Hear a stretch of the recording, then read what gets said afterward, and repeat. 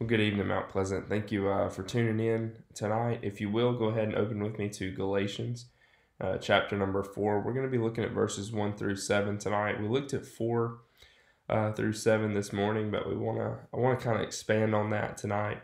Uh, so Galatians four one through seven. So just a little bit of a recap of where we were. Um, we looked this morning at the biblical doctrine of adoption. Uh, it's oftentimes an overlooked doctrine, uh, but it's, it's very, very important. And um, we saw some things here this morning, specifically in this passage, where uh, we see that God sent his son into the world to redeem those uh, who were under the law, who were under uh, the elementary principles of the world. And he did so for the very reason that we could be adopted, that we could receive the adoption of sons. And so uh, this is a very, very important doctrine, and we looked at it in five different ways this morning. Uh, in Ephesians chapter one, we saw that um, that this was predestined, that this adoption was predestined. It was uh, it was planned before the foundation of the world.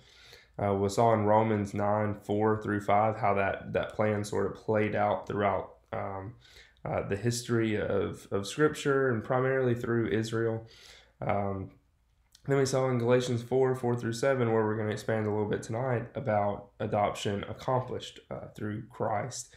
Uh, then we moved on to Romans 8 15 through 17, and we saw uh, how adoption was applied. Adoption was um, applied through um, the Holy Spirit. And then we moved on to Romans 8 23 and 29, and that was our final passage uh, where we saw that adoption uh, finally realized in in the last day. So tonight, like I said, I want to dive a little bit deeper into the Galatians passage. I want to look at all uh, seven of those verses. And, and, so when we think about adoption at the human level, uh, like we did this morning, it's different than biblical adoption. Uh, but certainly, I think once we grasp biblical adoption, we can understand um, how there are some parallels there uh, certainly, whether affected directly or or indirectly through human adoption. I think we can all understand the process of, of someone being uh, formally adopted uh, on paper, right, to the the full realization of their adoption in their everyday life, where they, they grow into that uh, to that relationship and into that love. Now, I think the same is true for our status um, as sons uh, of God. But I think we often have a problem in, like I said, adoption is oftentimes this overlooked doctrine. But I think it's overlooked in our lives as well on, on a um, experiential level. You know, we, we know that we're sons and daughters of God, but oftentimes we don't live like we are, right? We we have the status and the privileges uh, of, of sons um, but you know, sometimes we're so prone uh, to go back and live um, actually like slaves. And, and, this is the, the problem that um, Paul was dealing with here in Galatians 4. And the main point that he was really trying to get across uh, uh, to his readers, and the point for us really, is that the Father has adopted us so that we may live freely as his sons and daughters. Uh, so, with that being said, let's go ahead and get into the text. And it reads like this Galatians 4 1 through 7. I mean that the heir, as long as he is a child, is no different from a slave, though he is the owner of everything. But he is under guardians and managers until the date set by the father. In the same way, we also, when we were children, were enslaved to the elementary principles of the world. But when the fullness of time had come, God sent forth his Son, born of a woman, born under the law, to redeem those who were under the law so that we might receive the adoption as sons. And because you are sons, God has sent the Spirit of His Son into your our hearts, crying, Abba, Father. So you're no longer a slave, but a son. And if a son, then an heir through God. Now, before we can really understand the argument that Paul's going to make, I think we need to look at um, what he's already been saying. Uh, so in chapter one, uh, chapter one of Galatians, we see that there's false teachers. They're called Judaizers, uh, and they're coming into the church to distort the gospel. This is what Paul says in one seven. Uh, but the gospel that the false teachers were were, were teaching, uh, Paul says, is really no gospel at all. It's because apparently the, the false teachers were teaching that that Galatian believers uh, were ha- were to be circumcised um, in order to be saved. Uh, in other words, according to the false teachers, salvation was uh, uh, by works plus Christ. It wasn't just through Christ. Uh, but as Luke pointed out in, in chapter 2, uh, Paul Paul's adamant about the fact uh, that, that we are justified not by works, but by grace through faith in Jesus Christ. And Paul even goes as far as to say is that if righteousness were through the law, then Christ died for no purpose. So this is very important to see the difference between um, uh, salvation by works and salvation through Christ, which is the true gospel. So then in chapter 3, we see that, that some of the Galatians had um, actually adopted this view that, that, salvation was by works of the law uh, plus Christ. And then Paul continues on in chapter 3 and he sort of gives a brief overview of the Old Testament in persons like Abraham, Moses, and then eventually Christ. And so we saw that Abraham was given a promise uh, that through his seed, all the families of the earth would be blessed. And so, centuries after Abraham, uh, Moses, and the Israelites, they were given the law at Mount Sinai. And, and Paul shows that both the promise um, and the law are important. So, the promise that, that all families of the earth would be blessed is certainly very important, very, very important theme for Israel. And then the giving of the law is very important for Israel as well uh, in that we inherit the promise uh, by faith in Christ, the fulfillment of the promise, uh, because the law has been uh, illuminated or it has illuminated the fact that we can't obey it. So both are important in that the promise and the law they ultimately point to and find their fulfillment in Christ. And so Paul furthers his argument in verses 23 uh, through 29, and he emphasizes the fact uh, that the progression of promise and law and fulfilled promise is not only a reality for for the Jewish nation, but for all of humanity. And, and this uh, reality, uh, or the reality is now that everyone is either in slavery to the law or uh, they are in um, they are free in Christ. And so everyone is either under the law or in Christ. And, and with this, Paul moves on to chapter 4, where he contrasts the life here of slaves and the life of sons. So the life of slaves we see there in verses uh, 1 through 3, and then the life of the sons in 4 through 7. And he's teaching us that, that we are more than just justified. Uh, we are also adopted. We're not just declared righteous, we are also um, loved, and that uh, that sonship is applied in our lives even now. And so we saw there in the first three verses the uh, what it is, uh, what the life of a slave is. I, think I've used this illustration before, uh, but I think it works well. Um, I'm a I'm a fan of Batman. I think many, maybe many many of you have actually seen the movies. I don't know if anybody's a fan, but um, I really especially like the Dark Knight trilogy uh, with Christian Bale. And if you aren't really familiar with Batman, uh, the main character is Bruce Wayne in these Dark Knight trilogies. Uh, he was born into a, a, very wealthy family, a prominent family in Gotham City. And uh, at the time of his birth, uh, Bruce was destined uh, to take over his family business and the, the, the, the, estate and all that came with being uh, part of that, that, that Wayne family. In other words, he would inherit the, the, the wealth, the status, all the privileges. And, but as a boy, that inheritance that he has is not fully realized, right? He, he enjoys the privileges, but it's not fully realized. He's still he's still young. He still has a lot to learn. And, and here's where um, Bruce's butler comes into play. Um, Alfred Pennyworth, and Alfred takes care of young Bruce uh, during his childhood, and this is really key um, for us, um, and it's it was for Bruce, uh, especially after the death of his parents. Uh, the point, though, is that what we find in Alfred um, uh, is that he calls Bruce something very important. He, he doesn't call him Bruce. Uh, he doesn't call him sport or champ or anything like that. Um, He calls him Master Wayne, and this is certainly Alfred is older and more mature and in charge at this point in Bruce's life. But he knew the future in store for, for young Bruce, and uh, there would come a time when he inherits in full what he is only in status or, or name. So the wealth, the status, the privileges, all that of being part of the Wayne family will be truly realized at the point of his inheritance. And I think uh, this sort of illustrates, um, in part, what Paul is trying to teach for us. He, he opens chapter 4 by stating, I mean, the heir, as long as he is a child, is no different from a slave, though he's the son of every, or the owner of everything.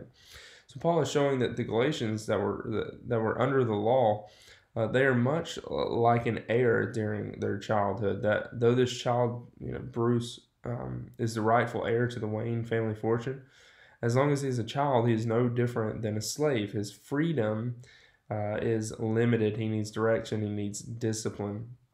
He is, as verse 2 states, under guardians and managers uh, until the date set by the Father. And so Paul then continues or, or connects uh, this illustration of an heir in his childhood to what it's like for those that are under the law.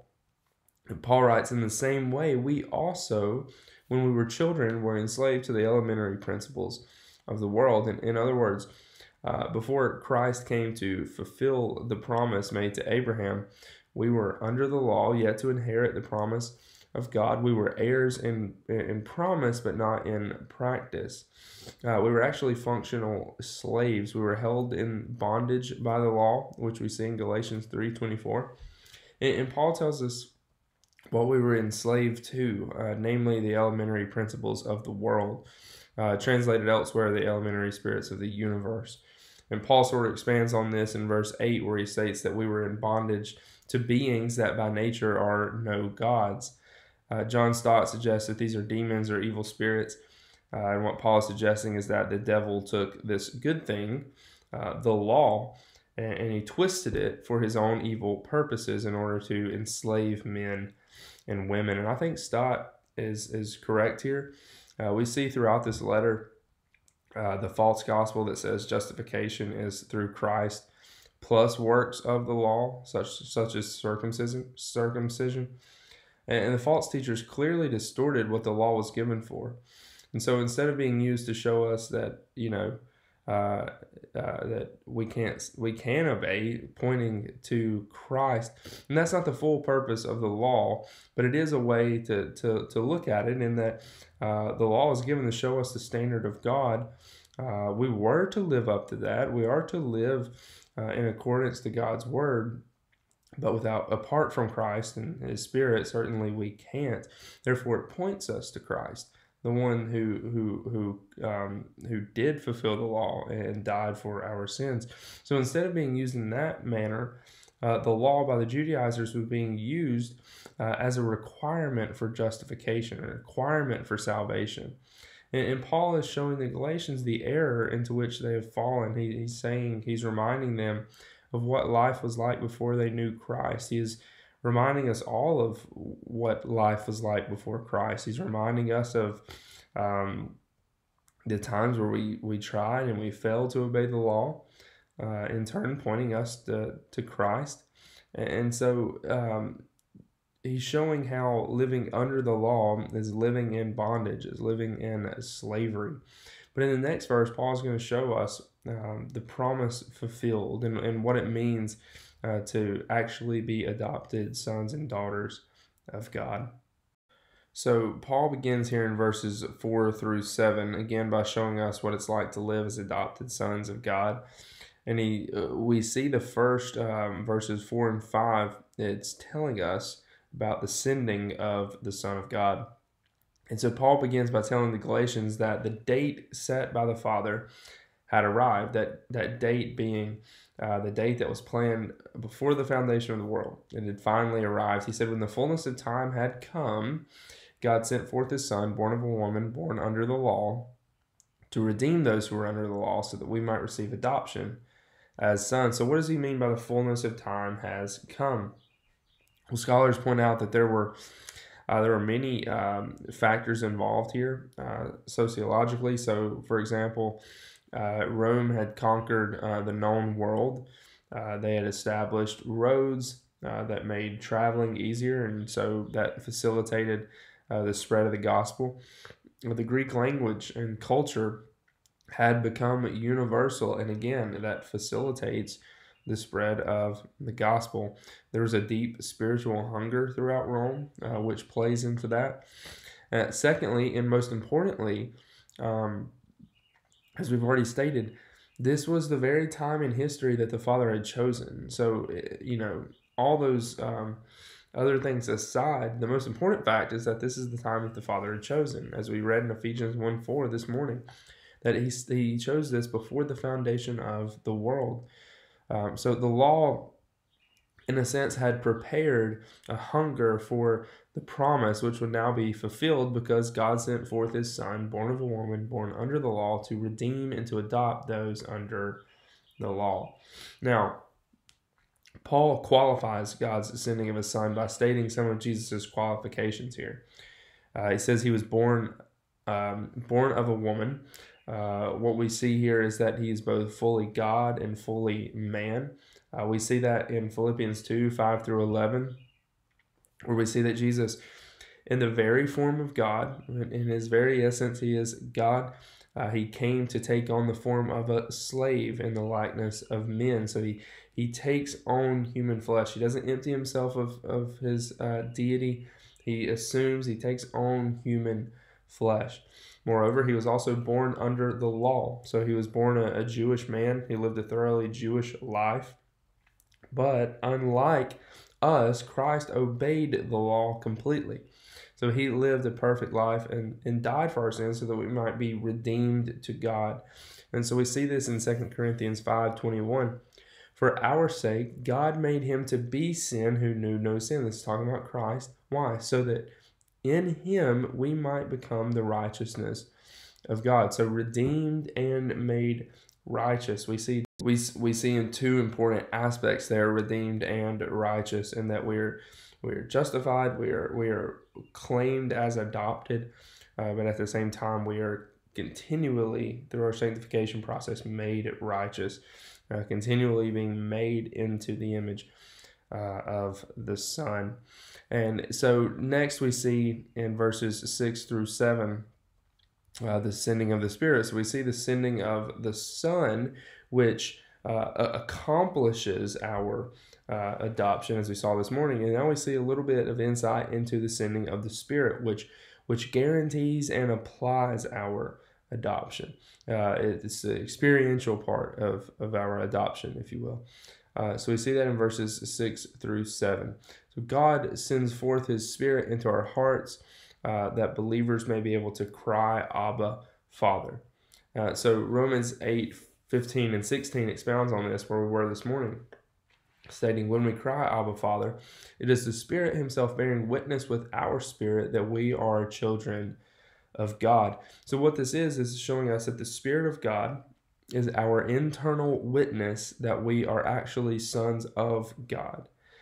So it's really important here that there's there's a trinitarian nature to salvation, right? In that in that God sent His Son uh, to die for us and His Spirit to live in us. Stott says it like this: He sent His Son that we might have the status of sonship, and He sent His, sent His Spirit that we might have the experience of it. Um, so now, because the, the Spirit indwells us, we can experience what it is like to have intimacy, to have that intimacy of a father son relationship with the God of the universe. And, and we can now come to the Father, right, with, with confidence that we are loved, accepted uh, beyond measure as adopted children of the Father. And, and so Paul concludes by, by writing, So you are no longer a slave, but a son, and if a son, then an heir through God. And so, because of what God has done for us through the promised Christ, we are no longer enslaved to the law and to sin and to death, but, but we're free in Christ to approach the Father in the power of the Holy Spirit. And, and so that, that has vast implications for, for our lives. You know, how, uh, how we pray, how we go through uh, through the Father's discipline, how the Father uh, looks upon us, how we look upon Him, how uh, how we pro- progress through our sanctification uh, process, and I mean just vast implications for our life. We are now sons and daughters, and we are heirs through God. Now we don't we don't experience that full inheritance now. We will one day. We talked about that uh, this morning, but we can begin to experience already what it's like to be a son of God. So, just to conclude, let us, uh, and I think this is very important for us as we move forward, just rejoice in the fact uh, that you have been redeemed through Christ. And then never forget, um, certainly, that we're saved by grace uh, alone, through faith alone, in Christ alone. Don't don't forget that. Um, that's obviously very very important. But but you know, I wonder how often do we stop there? Right? How, how often are we simply satisfied with being justified before uh, the Father uh, when He wants us to see that we are redeemed for a purpose? We are redeemed so that we, uh, in order to be adopted into His family. So, right, how often do we see God as simply a, a judge, right, instead of a father? You know, we call him father a lot, but how do we do we live it right? You see, oftentimes uh, it's speaking of human adoption, when someone's adopted, they're rescued from a very dire situation. Uh, they might be given food and you know clothes and water and shelter, but that's not all. Hopefully, they're they're also very deeply uh, loved, and they, and they recognize the the grace and the love and the mercy that's been shown uh, to them, and, and hopefully, uh, they begin to live out that experience as a son or a daughter. So the same is true for us. We're not simply saved. We, we are, but we're also loved uh, by the Father. So let's rejoice in the fact that we are adopted sons and daughters of the Father, and therefore we are deeply, deeply loved.